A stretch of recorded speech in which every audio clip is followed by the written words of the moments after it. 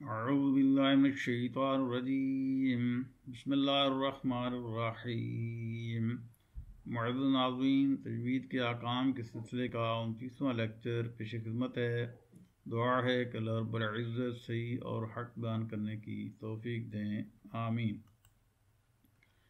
सिफ़ात आर्रा वाले हरूफ में से इदगाम और इसकी इकसाम पर गुफ्तु जारी है ये इदगाम की इकसाम का चार्ट है।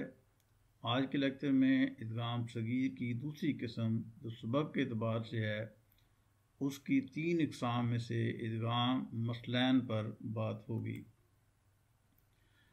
इदगाम मसलैन जब मुदगम और मुदगम फ़ी दोनों मखारज उसफात में एक जैसे हों या दोनों एक ही हरफ हों, जिनमें पहला हरफ साकिन हो और दूसरा हरफ मुतहरक हो तो पहले साकिन हरफ को दूसरे मुतहरक हरफ में दाखिल करना। जैसे, कद कदखलू सूरमायदा से यहाँ पहला दाल साकन, दूसरा दाल मुतहरक दोनों हरूफ एक जैसे हैं।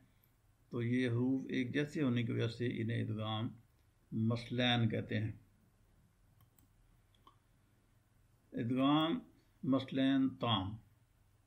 अब कदखलू में चूँकि दाल दोनों एक जैसे हैं और एक जैसे रूफ में इदगाम ताम ही होता है, यानी पहला हरफ दूसरे अरफ में पूरे का पूरा दाखिल हो जाता है। इसलिए से इदगाम मसलन ताम कहते हैं। अब मसलन दोनों हरफ एक जैसे होने की वजह से और ताम चूँकि पहला साकन अरफ दूसरे मुतारक अरफ में पूरे का पूरा दाखिल हो जाता है, इसलिए से इदगाम, मसलन, ताम कहते हैं। ये इदगाम जो है, चौदह रूप में होता है, जिनका मजमू है फ़ाय वकलम तहदीब नज़ीर। इस जुमले के अंदर जो चौदह हरूफ आते हैं, वो यहाँ लिख भी दिए गए हैं। इनके अंदर ये इदगाम, मसलन, ताम होता है। अब मैं आपके सामने इनकी अलग अलग मिसालें रखता हूँ। पहला रफ़ा है। तो इसकी मिसाल सूरह बनी साइल में, फ़ला युसरफ फिल कत्ल। तो यहाँ पहला साकन फ़ा और दूसरा फ़ा मुतहरक साकन फ़ा जो है, ये फ़ा मुतहरक में दाखिल हो रहा है और पूरे का पूरा दाखिल हो रहा है और दोनों हरफ एक जैसे हैं, लिहाजा इसको इदगाम, मसलन, ताम कहते हैं। फ़ला युसरफ फिल कत्ल। एन की मिसाल है, तस्तौतीर। तस्तौतीर अलई तो यहाँ पहला एन साकन, दूसरा एन मुतहरक में पूरे का पूरा दाखिल हो रहा है। सूरह अलकाफ से ये मिसाल है। तीसरी मिसाल है वाओ की। सुमत अहसनु।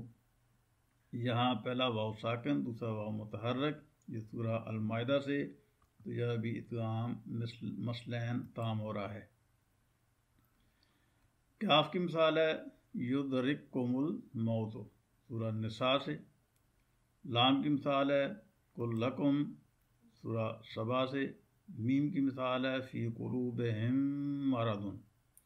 अब यहाँ पहला मीम साकन, दूसरे मीम मुतरक में पूरे का पूरा दाखिल हो रहा है। इदगाम मसलन ताम है। लेकिन यहाँ एक और बात भी है कि चूँकि मीम पर तशदीद आने की वजह से ये अरफ गुन्ना बन जाता है, ज़्यादा इसको जब अदा करेंगे तो गुन्ना भी अदा करेंगे। फ़ी कलूब हिम मरादन। इसके बाद जो सातवीं मिसाल है, वो ता की है। फमारद हत जारत हम सूरह बाकर से। हा की मिसाल जो गुरे हन्ना सूरह नूर से। दार की मिसाल को दखलू, सूरह अलमायदा से।